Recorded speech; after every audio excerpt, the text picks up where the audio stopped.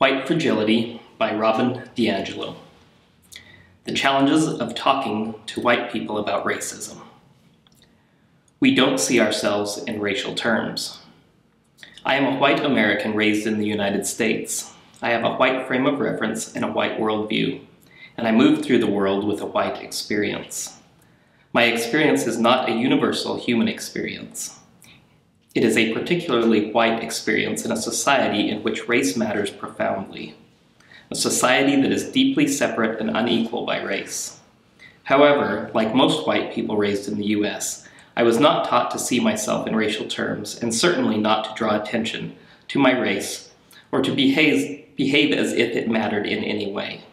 Of course, I was made aware that somebody's race mattered, and if race was discussed, it would be theirs, not mine. Yet a critical component of cross-racial skill building is the ability to sit with the discomfort of being seen racially, of having to proceed as if our race matters, which it does. Being seen racially is a common trigger of white fragility, and thus to build our stamina, white people must face the first challenge, naming our race. Our opinions are uninformed. I have never met a white person without an opinion on racism. It's not really possible to grow up in the United States or spend any significant time here, or any other culture with a history of Western colonization without developing opinions on racism. And white people's opinions on racism tend to be strong. Yet race relations are profoundly complex. We must be willing to consider that unless we have de devoted intentional and ongoing study, our opinions are necessarily uninformed, even ignorant. How can I say that if you are white, your opinion on racism, your opinions on racism are most likely ignorant, when I don't even know you? I can say so because nothing in mainstream US culture gives us the information we need to have the nuanced understanding of arguably the most complex and enduring social dynamic of the last several hundred years. For example, I can be seen as qualified to lead a major or minor organization in this country with no understanding whatsoever of the perspectives or experiences of people of color, few if any relationships with people of color, and virtually no ability to engage critically with the topic of race. I can get through graduate school without ever discussing racism. I can graduate from law school without ever discussing racism. I can get through a teacher education program without ever discuss discussing racism. If I am in a program considered progressive, I might have a single required diversity course. A handful of faculty will have fought for years to get me this course, likely having had to overcome resistance from the majority of their white colleagues, and will still be fighting to keep the course. In this diversity course, we might read ethnic authors and learn about heroes and heroines from various groups of color, but there's no guarantee we'll discuss racism.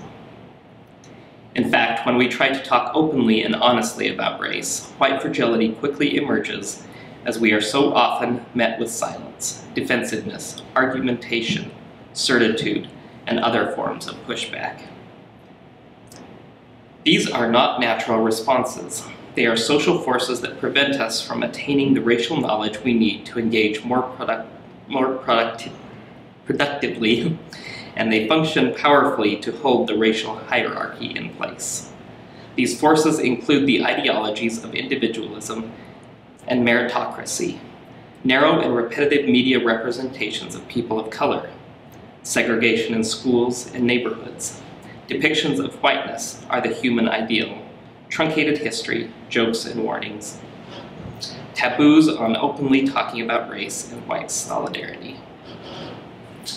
Interrupting the forces of racism is ongoing, lifelong work, because the forces conditioning us into racist frameworks are always at play. Our learning will never be finished, yet our simplistic definition of racism as intentional acts of racial discrimination committed by immoral individuals engenders a confidence that we are not part of the problem and that our learning is thus complete. These claims we offer up as evidence are implausible.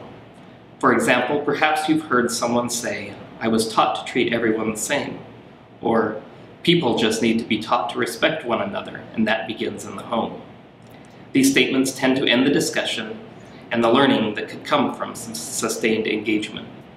Further, they are unconvincing to most people of color and only, and only invalidate their experiences. Many white people simply do not understand the process of socialization, and this is our next challenge. We don't understand socialization. When I talk to white people about racism, their responses are so predictable, I sometimes feel as though we are all reciting lines from a shared script.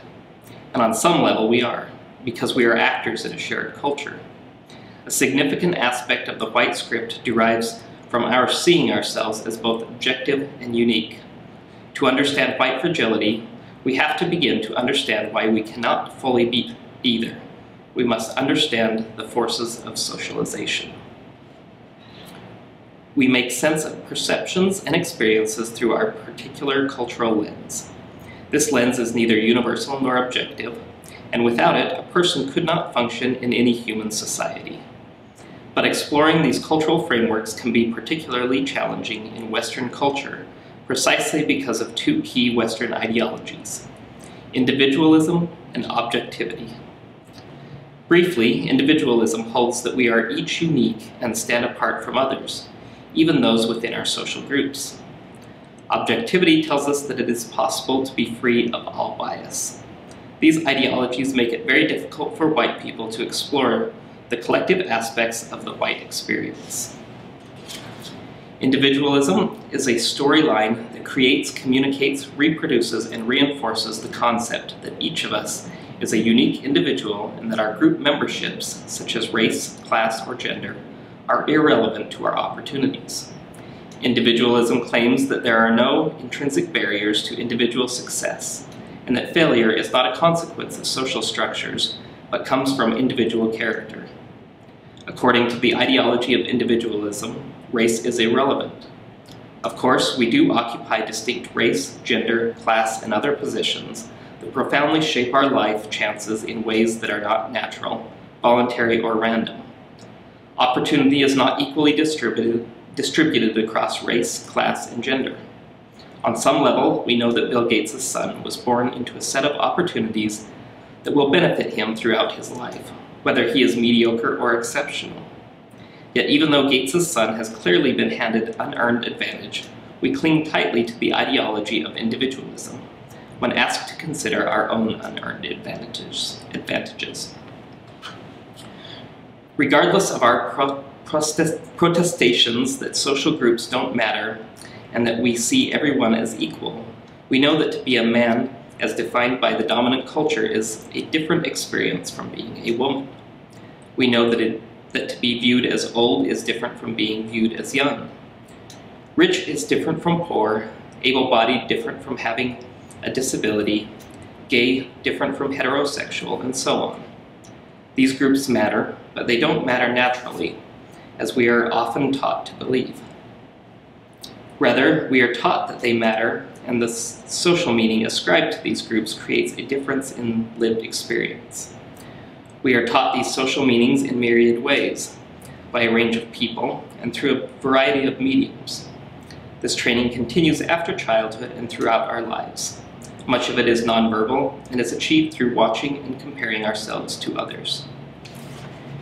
We are socialized into these groups collectively in mainstream culture. We all receive the same messages about what these groups mean, why being in one group is a different experience from being in another, and, and we also know that it is better to be in one of these groups than to be in its opposite.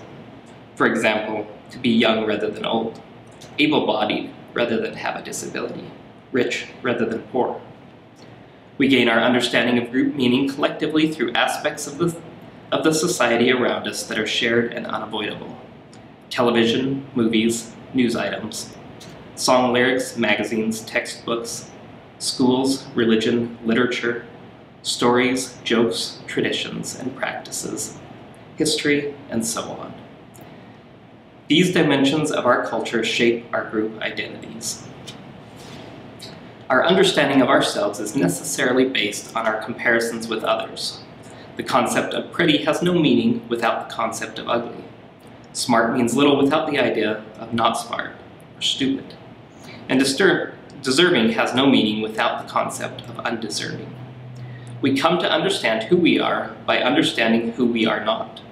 But because of our society's emphasis on individuality, many of us are unskilled at reflecting on our group memberships. To understand race relations today, we must push against our conditioning and grapple with how and why racial group memberships matter. In addition to challenging our sense of ourselves as individuals, tackling group identity also challenges our belief in objectivity.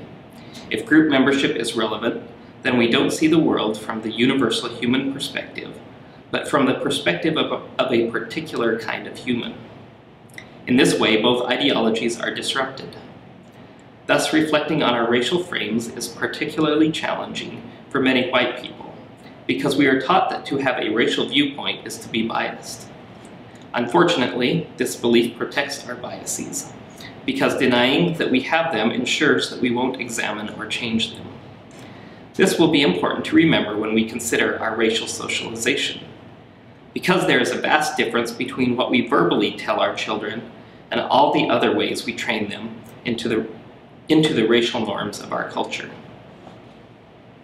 For many white people, the mere title of this book will cause resistance because I am breaking a cardinal rule of individualism. I am generalizing. I am proceeding as if I could know anything about someone just because the person is white.